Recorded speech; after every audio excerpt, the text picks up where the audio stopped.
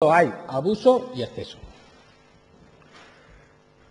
Es tremendo que buena parte del actual sistema financiero, que se ha convertido en estos últimos años en un sistema dependiente, patrocinado y financiado por el dinero público y por el dinero privado de las economías sencillas, nunca tenga un gesto, una acción que atisbe algún gramo de sensibilidad social. Nadie va a resarcir ya los abusos, las, especulaciones y las ocultaciones que llevan años funcionando, pero sí podemos y debemos pararlos y corregirlos.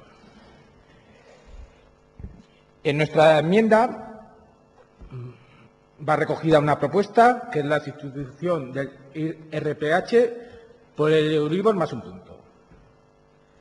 Pero somos conscientes que si examinamos la evolución del Euribor en los últimos años, este también puede sufrir oscilaciones. Es decir, la volatilidad del Euribor puede ser en un momento dado, en una coyuntura concreta, de tal naturaleza que la repercusión sobre las cuotas hipotecarias sea altísima. Por lo tanto, lo que nosotros planteamos es que precisamente para lograr que esas cuotas se mantengan en una horquilla manejable por aquellos que contratan o suscriben un contrato, estén obligatoriamente, obligatoriamente, salvo pacto expreso, obviamente, y solo para la primera vivienda, cubiertas con un seguro de tipo de interés, que son instrumentos financieros que existen, no de ahora, existen de siempre, y por tanto se garantice una justicia en, ese, en esa operación. Y por esa razón planteamos que en el futuro, para evitar esas variaciones, esos incrementos que pueden suponer las cuotas por mor de los cambios en los tipos de interés, se, lleve adelante una verdadera política social, que consiste en que los instrumentos financieros estén al servicio de la seguridad de los ciudadanos que contratan este tipo de préstamos o de créditos hipotecarios.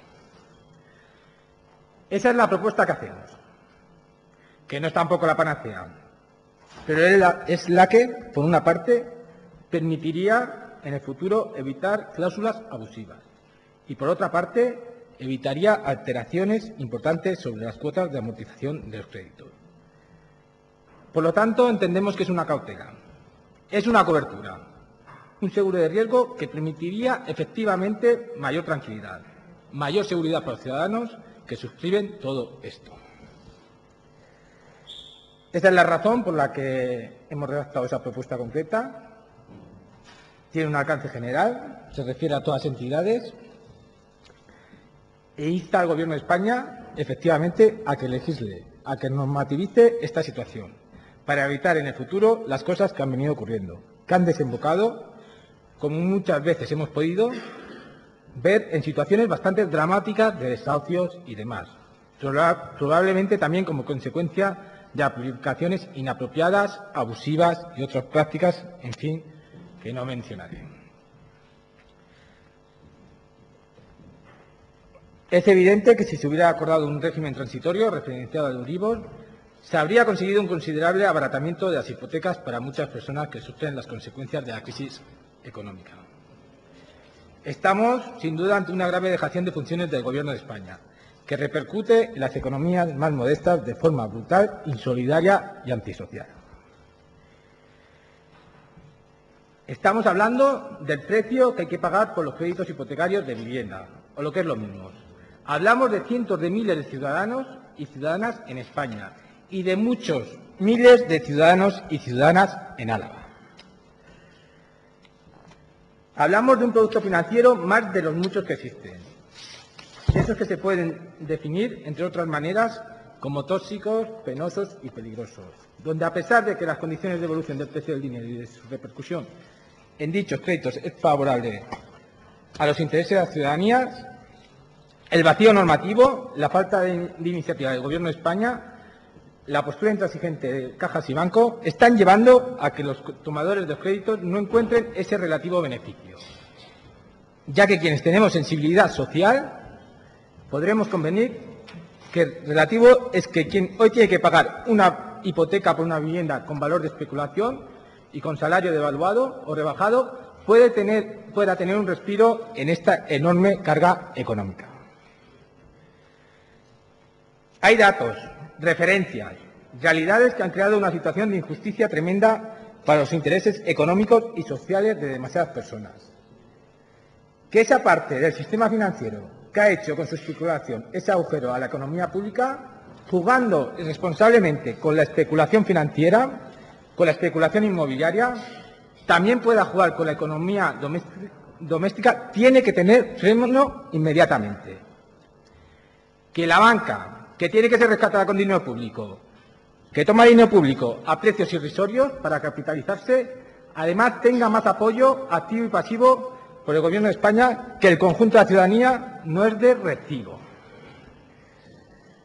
Los socialistas queremos que así se trate de ayudar a las economías desequilibradas, por un coste de crédito excesivo en sí mismo, y excesivo si se relaciona con la capacidad de los recursos que se tienen desde las rentas del trabajo. Incluso proponemos que se recurra a la forma legislativa más rápida posible para que esta situación se corrija ya. Además, en nuestra enmienda solicitamos que se muestre un compromiso con la protección de los derechos de los consumidores. En conclusión, podemos decir que si podemos afirmar que estamos ante un producto hipotecario que no es ilegal, que todavía hoy sigue vigente y que además es indefendible, eso tenemos claro. ¿Y por qué es indefendible? ¿Por qué es un exceso más de los muchos que hay? ¿Por qué es indigno de una sociedad democrática? ¿Por qué es inconcebible en un Estado de Derecho? Es por lo que la política debe intervenir en ayuda al interés general de la ciudadanía y en ayuda al interés social de una sociedad que quiera ser justa. Por tanto, yo creo que el espíritu de la moción, eh, por mucho que haya dicho el señor Bizarro en su intervención, yo creo que sí que, podemos aproximarnos eh, nuestra enmienda con el, con el espíritu de la moción, porque yo creo que vamos en el mismo camino tal como he dicho en mi intervención. Muchas gracias. Que